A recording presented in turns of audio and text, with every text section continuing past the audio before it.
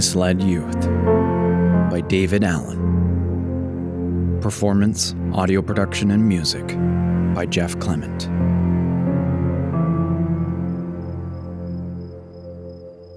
Three a.m. came like clockwork, and with it, so did the screams.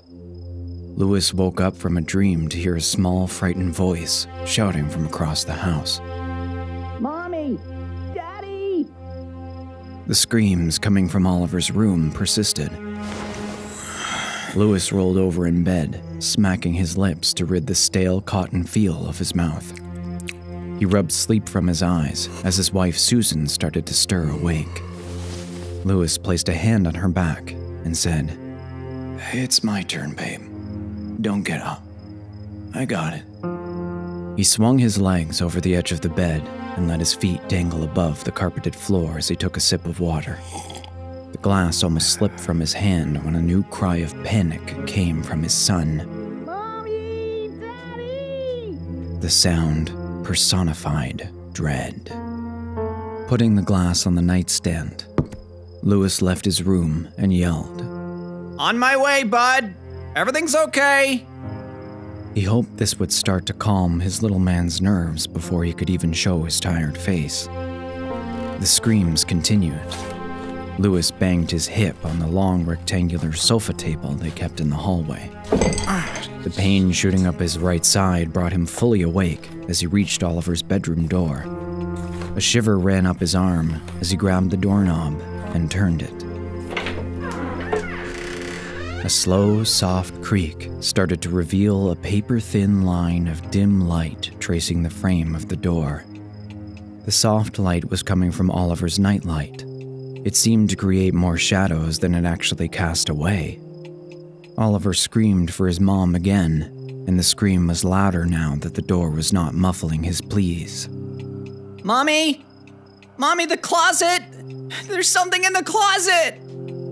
He yelled, through gasps, trying to catch his breath. As Lewis caught sight of Oliver's glossy, wet eyes, he swallowed a lump that had been growing in his throat. It's it's not mom, bud. Just good old dad. Everything's okay, Oliver.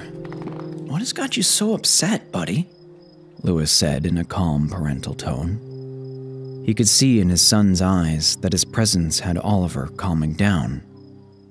The closet, Daddy. The, closet. There's something in my closet. I think it's a monster, Daddy. stammered Oliver in a small voice. Now, Ollie, you know we checked under the bed and in the closet before bedtime, just like we do every night. We didn't find any monsters or spooky ghosts. We never find any monsters or spooky ghosts. Monsters don't exist. As he spoke, he watched Oliver continually glance back at the closet. Monsters are just make believe for movies and books. You have a great imagination. I know you can imagine it, but it's not real. I know, Dad. I, I keep hearing the metal hangers move around in there, and it scares me when it's quiet. Oliver said. Sorry, Dad. I didn't mean to wake you again. I just get so scared when I hear noises coming from there. And I know we already checked it. It's just scary in the dark, Dad. Lewis sat next to Oliver on his bed and put an arm around his son. It's fine, son. I'm always here for you, no matter the time of day or night. No need to be sorry. I used to be afraid of the dark when I was your age, too, Really? Questioned Oliver with an excited curiosity. Yeah, it was pretty bad for a little while, so I understand what being scared is about. For a time, I was sure there was a, a monster or something under my bed. Every night, I would fight going to sleep when it was time. No matter how many times my dad, your grandpa, would check under the bed and find nothing but toys and dirty socks, I just had it in my head that there was something there, and I was scared. What did you do, Dad? Oliver asked, like he was waiting for a secret to be revealed. Nothing. I kept being scared about the dark and the noises I would hear, and most of all, the monster I thought was under my bed. Until one day, I went to bed and realized there was nothing to be scared of. Lewis said this with a proud smile as he looked at his son. He had Oliver's full attention. I think the one thing that helped me not be afraid anymore was the fact that my dad never stopped checking under the bed for me. Even though he never found anything under there, he would check for me. Anytime I would hear a noise that scared me, I would call for my dad, and he'd come and check again. Oliver yawned big and stretched, getting comfortable again. Lewis continued. As I got older and became a dad myself, I realized that they knew all along there were no monsters or spooky ghosts under the bed. But they still checked. They checked just to put my mind at ease so I would sleep and not be scared. Like you and Mommy do? Oliver said, with heavy eyelids hanging low. Lewis could tell their talk had calmed Oliver down, and he was about ready for bed again. Yes, sir. So now that you need me, I will be there. I will always check the closet and under the bed for you. I'll check until the day you don't need me to check anymore. Oliver smiled up at Lewis. Besides, you know Kradik would bark his head off if a leaf blew by the window. He would probably wake up the whole neighborhood if someone or something was in the house. Lewis said with a sarcastic grin. I know, Daddy. He's loud. The last word stretching long and wide as he yawned once more. Oliver laid his head on his SpongeBob pillow and pulled his sheets up to cover himself. Will you still check the closet before you go back to bed? Oliver asked. Of course I will, Bud. Lewis tucked the matching SpongeBob sheets under and around his seven year old's tall, lanky body and readied him for bed for the second time that night. Sliding down off the bed onto his right knee, he got on all fours to check under the bed. Right. As he pulled back the bed skirt that hid the gap under the bed, all he saw was the ridiculous Hot Wheels collection Oliver had amassed over the past two years, and a few mismatched socks. There's nothing under here but almost half of all the Hot Wheels cars in the known universe, Lewis bragged, and Oliver chuckled. Lewis's knees popped as he stood up and took a step towards the closet. As he reached for the sliding door that opened the closet, he noticed it was open ever so slightly. This made him stop and think if that was how he left it after his first check. He could not recall exactly, so he brushed the thought off as he slid the door open. The position of the dresser where the small lamp was sitting made it so that little to no light actually made its way into the closet. The absence of light made the two foot deep inset seem to stretch on for an eternity. The tiny room within a room was wider than it was deep, giving it the illusion of another world. Maybe this was a world waiting with dark questions, a place with no answers. Lewis's tired mind wandered down strange paths as he pushed the thoughts aside. He had been in the closet countless times. He had rehung the hanger rod and patched up a large crack in the drywall the best he could. The crack never seemed to quite fill in. After he filled it several times, he was able to paint the wall and rehang the rod for Oliver's coats. Oliver had jumped from his top bunk and hung onto the rod until it broke free and cracked the drywall. Lewis found him yelling for help under a pile of jackets and shirts. This was just a closet where Oliver kept his excess toys and board games. He couldn't imagine how Ollie could be thinking there was something in his closet. There was no room in here for anything let alone a monster. There were things on top of things. The space was a mess.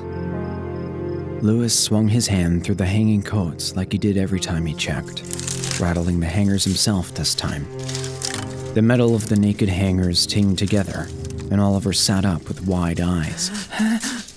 it's just the hangers, bud. A few of them don't have jackets on them, so they're swinging around while I check. Oliver said nothing, he just pulled the covers further up to his face. Only his eyes peeked out from above the sheets. Lewis smirked as he steadied the swinging hangers and looked above them to the shelf. An odd silhouette caught his eye and he did a double take to the left. A chill stole his breath away as two eyes peered down. With his heart thudding in his chest, he focused his eyes in the dark and stared back. The little bit of lamplight that had made its way into the closet gave a glow to the tiny dime sized black dots that stared down at him. He leaned in closer so that his eyes could adjust to the dark more. Now that he could see better, he realized he'd been in a heated staring contest with a fucking dead eyed teddy bear. The tiny, dead black oceans that were its eyes appeared to have a soulless depth, a depth that wanted to drown you in its endlessness. The death stare now broken, Lewis resumed his pointless search. He felt a little childish himself for getting worked up by a bear, and he hoped that Oliver hadn't taken notice. All clear, buddy. Checked and double checked. Lewis exclaimed as he slid the door almost all the way shut. A fuzzy green slipper stopped it from closing completely. Okay, Daddy. Thank you for checking again. I love you. Oliver yawned and rolled over onto his side as Lewis strode towards the dresser to turn off the lamp. The shrinking shadow of his outstretched arm gave the appearance of a snake getting smaller by the second.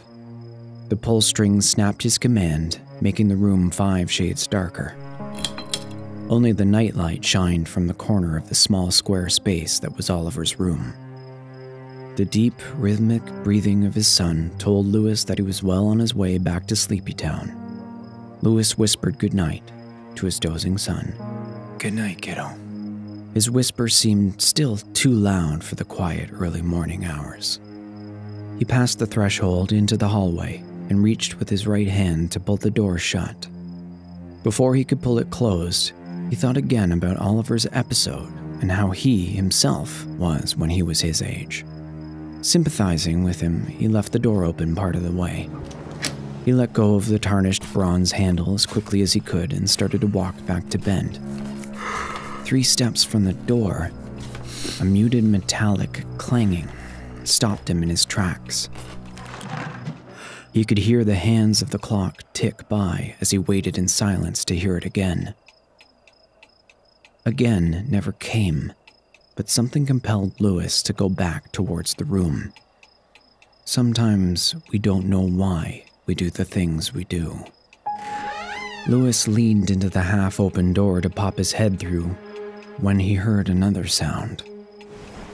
The muffled noise sounded like something of great mass shifting and burrowing out of somewhere. A shiver ran up Lewis's spine when the clanking of hangers sounded again.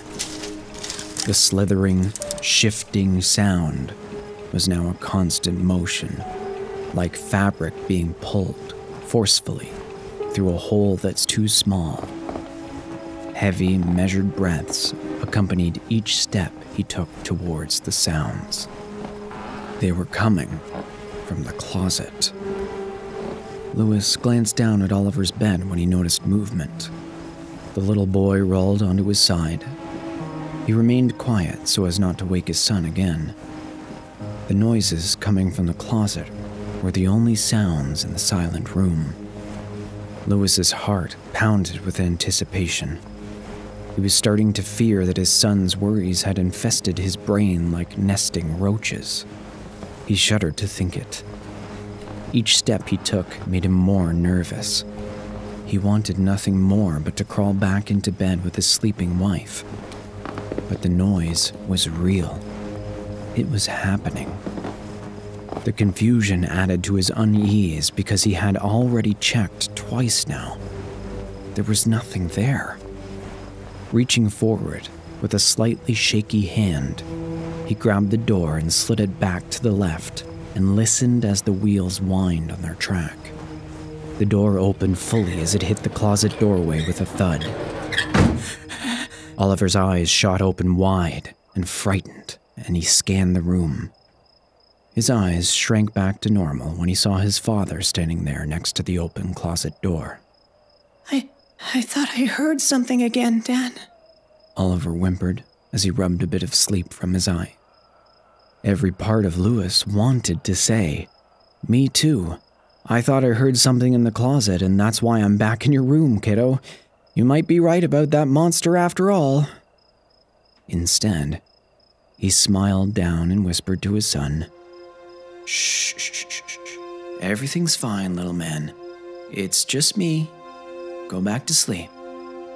Before Oliver could say, Okay, Dad, a loud toppling crash came from the back corner of the closet. Both of their heads jerked in the direction of the sound. There was nothing but black inside the closet frame. With his heart fluttering in his chest, Lewis smirked at Oliver and said, Sounded like a toy avalanche, but was cut short. A large, wet, pale green tentacle slithered out from a pile of clothes and toys and wrapped itself around Lewis's ankle. As it crept up towards his thigh, he screamed out and grabbed the post of his son's bed to brace against the pulling. Ah! Oliver cried out for his father. The screams became white noise in his head as he lost all control and started flailing his free arm and kicking in fear. Amidst the unknown terror, another mutilated tentacle with swollen, gluttonous mounds lined with rows of serrated fangs jutted from the dark space beyond the door. It wrapped around Lewis's neck, and the gelatinous nub at the tip forced its way into his mouth.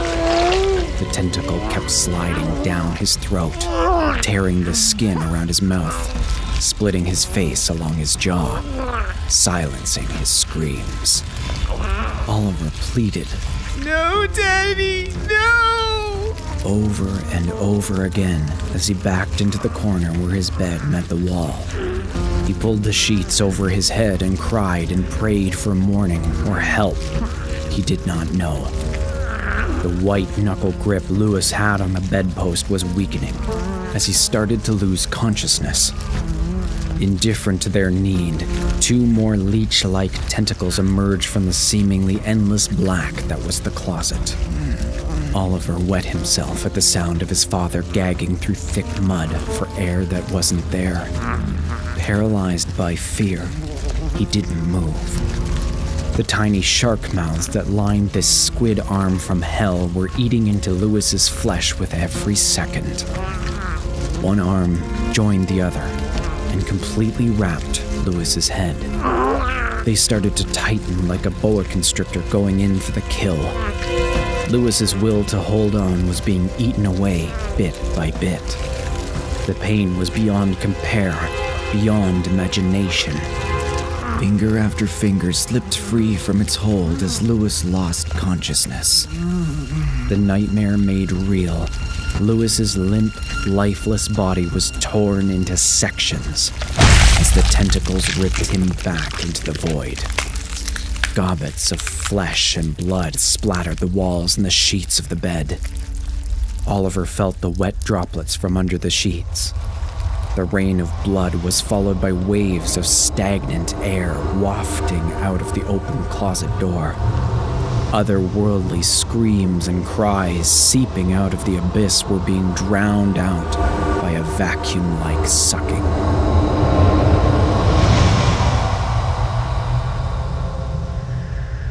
Oliver waited for what seemed like an eternity for the noises to stop.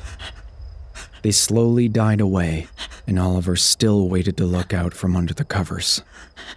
After only hearing his thumping heartbeat and own labored breathing for some time, he swallowed the lump in his throat and peered over the sheet towards the looming closet. The dark black square hole against the white, blood drenched wall made it appear like a tunnel to other worlds. Gazing into this hellhole that just deleted his father from existence, he noticed clumps of skin and gore dripping down the walls around the closet door. In the nightlight glow, the red blood looked black and thick like tar. The image made real the unreality of what he had just witnessed. With fresh tears welling up in his eyes, Oliver threw off the covers and jumped from his bed. running out of his bedroom into the dark hallway of the sleeping house. Oliver started screaming for his mother.